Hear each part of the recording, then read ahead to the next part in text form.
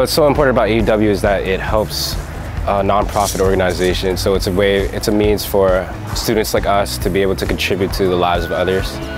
And just buying a simple treat, it doesn't seem like much, but it actually, in the bigger picture, it supports a lot of different individuals in the world right now.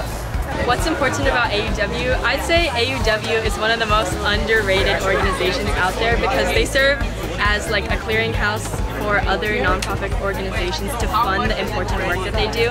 And because honestly, money does really make the world go around, and AUW is able to provide that for so many important nonprofit organizations.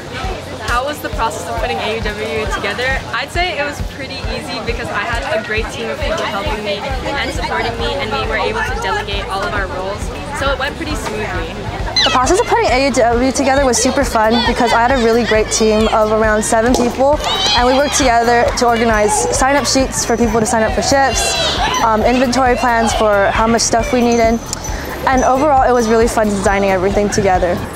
The process required a lot of work and a lot of planning. Uh, we had to decide on a product to sell and we ended up with two products. In the end, we decided to pick sundaes and it required the help of a lot of people. So thank you for all the donations and help.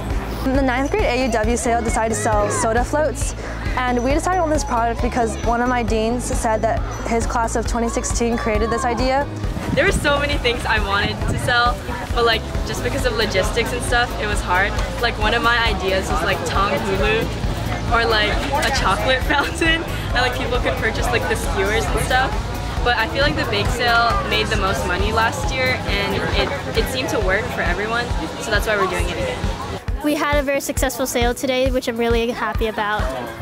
What do I think of this bake sale? I think it's awesome. I think the 10th grade bake sale is awesome sauce and we're going to raise so much money for AUW. I think today's sale went really good. I'm really happy about the profit and I'm really happy that everyone came to support today and I hope next year or later on you come back to support